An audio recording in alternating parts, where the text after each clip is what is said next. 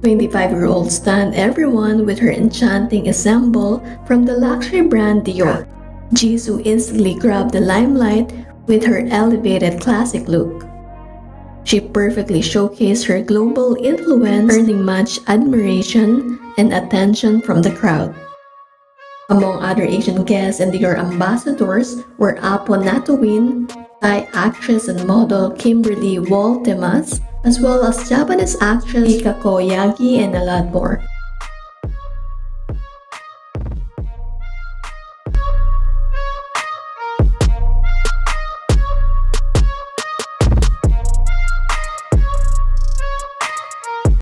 Meanwhile, Jisoo have shared offers to appear on the highly anticipated romantic comedy drama Monthly Boyfriend. She is also due to appear in the upcoming zombie thriller series Newtopia alongside Park Jung-min.